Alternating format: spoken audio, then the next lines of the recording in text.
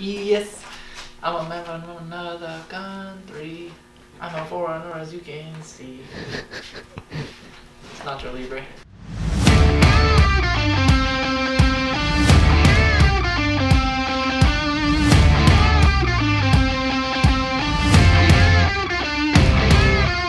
Alright, so welcome to an off hours uh, CP weekly vlog here.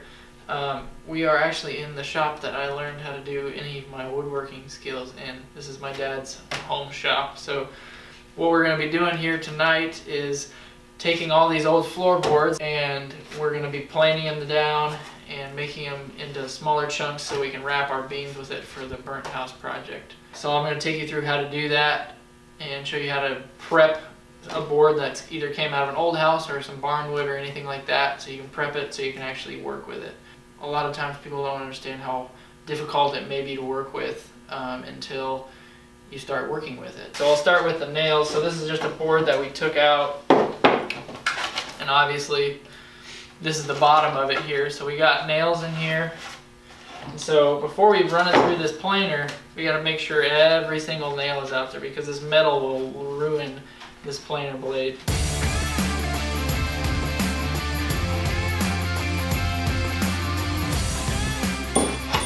What you got to make sure you do here is you'll get in here and you want to check the top of the board for anything, any nail, any screw head, any sort of foreign object you don't want to go into this planer. I got my blade depth set a little deeper than normal um, because I don't know if you can see it on the camera, but these boards bow a little bit. So um, it's going to be taller in the center. So that's another reason why we're planing them down, but it's going to be taller in the center. So I'm going to make sure, even though that's sticking through quite a ways, it's going to be very minimal in the center here. So that we're using the square side, we're using the true side against the fence here.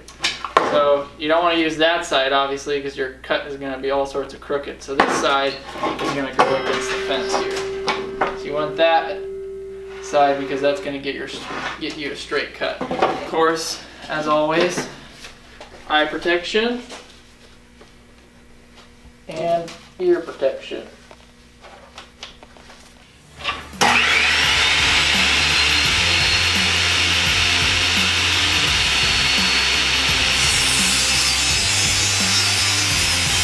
So this is just a portable planer here. And we have the depth set at just a little shy of three quarters of an inch. So a lot of times this wood is three quarters of an inch. So we want to slowly take the depth out of it. We don't want to just crank it as low to the size we want it and cram it through the planer. So we just want to take a little bit off at a time, a little bit off at a time. We'll kick on our dust collection over here. This will help a little bit with dust in the air.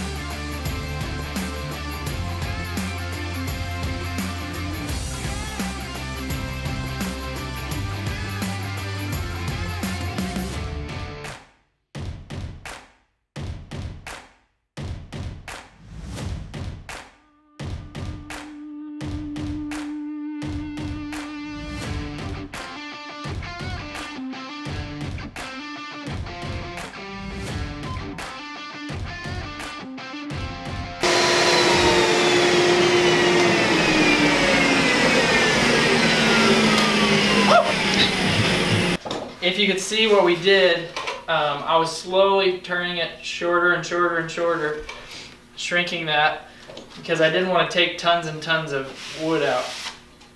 So you'll still have little checks like this and stuff like that. We'll take that out with a sander. So if we're doing a lot of this wood, what we'll do is we'll cut it all down all at the same time.